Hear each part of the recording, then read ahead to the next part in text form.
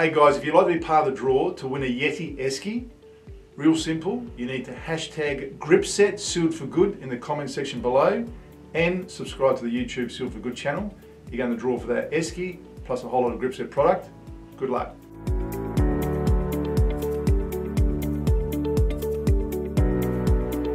Hey everyone, thanks again for joining me on Sealed for Good today.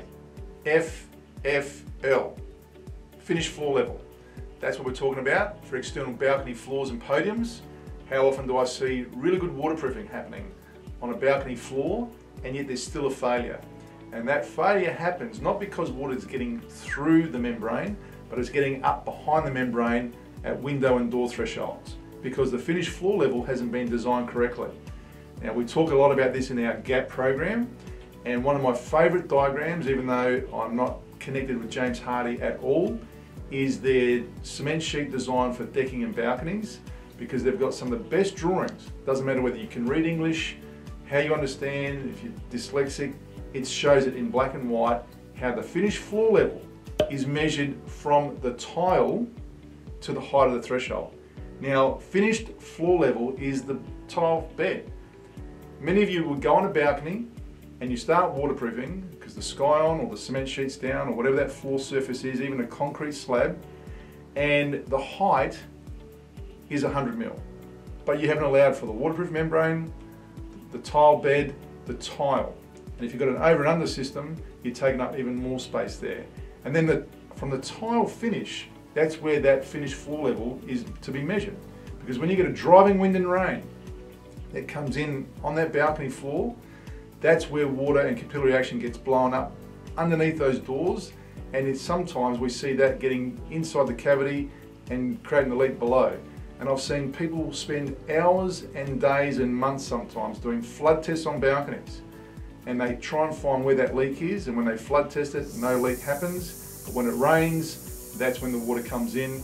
And often it's those situations where it actually is getting in behind the membrane.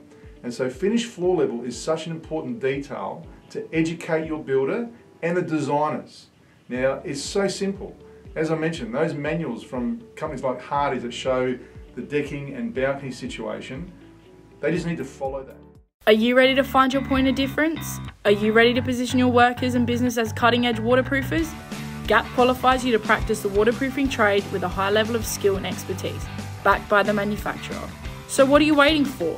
Be part of the change and find your point of difference among the rest.